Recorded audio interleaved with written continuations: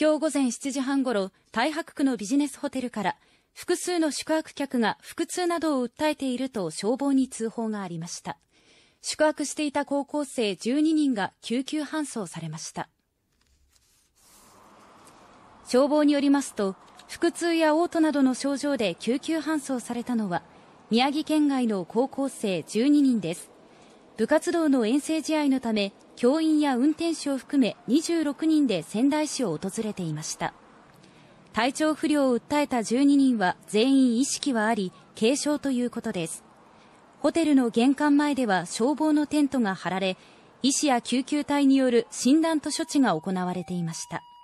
消防によると、生徒らは朝食はとっていないということで、食中毒の可能性を含め、前日の食事の内容や場所などを調べています。